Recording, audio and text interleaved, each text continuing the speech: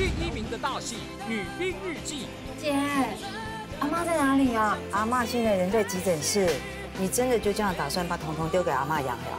彤彤现在正是需要妈妈的时候，你为了当兵，你把她丢着不顾。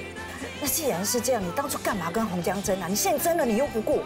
关于照顾彤彤的事情，我们还是有必要重新讨论一下。有些事情还是要有所安排。七月十二日起，每周一至周五晚间八点，《女兵日记》。